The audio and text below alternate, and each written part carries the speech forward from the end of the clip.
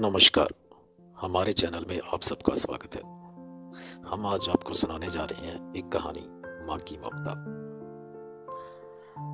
एक राहुल लड़का था, जिसकी उम्र 35 साल थी। वो अपनी फैमिली के साथ पहाड़ों पे घूमने के लिए गया पहाड़ों पे चार पाँच दिन उन्होंने खूब एंजॉय किया। चार पाँच दिन घूमने के बाद वो घर के लिए रवाना हो गए। घर की तरफ़ निकलते समय उनको अंधेरा हो गया और रास्ते में बारिश पड़ रही थी। रास्ता पूरा सुनसान था। बहुत अंधेरा था।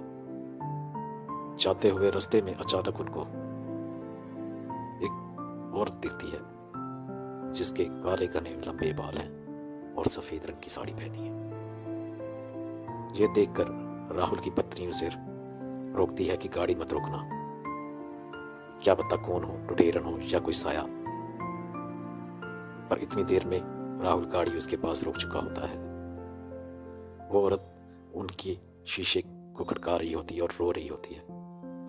और कार में सब लोग डरे होते हैं। राहुल अपनी पत्नी से कहता है ये औरत, मुझे बहुत परेशान लग रही है और देखने में तो किसी अच्छे घर की लग रही है। हमें इसकी बात सुननी चाहिए। राहुल दरवाज़ा खोल देता है। वो औरत उसको बोलती है कि मेरी गाड़ी का एक्सीडेंट हो गया है और मेरी छोटी बच्ची उस कार में फंस गई है। उसे निकालने में मेरी मदद करें। राहुल ये सुन के उस एक्सीडेंट हुई कार की तरफ़ भागता है। उसका परिवार भी उसके पीछे पीछे भागता है।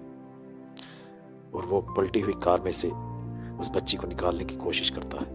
वो दरवाज़ा नहीं खोल पाता है। फिर वो एक पत्थर उठा के उसके शीशे पे मारता है और उस छोटी बच्ची को निकाल लेता है। लेकिन वो छोटी बच्ची अभी कार की तरफ़ इशारा करके माँ माँ करके रो रही होती है। तो राहुल उसे कहता है, तुम्हारी माँ ने ही हमें भेजा है, तुम्हें बचाने के लिए। वो पीछे खड़ी है। लेकिन राहुल जब पीछे मुड़ के देखता है तो वहाँ कोई नहीं होता। राहुल फिर कार की तरफ़ देखता है, आगे की सीट पे एक औरत मरी हुई होती है।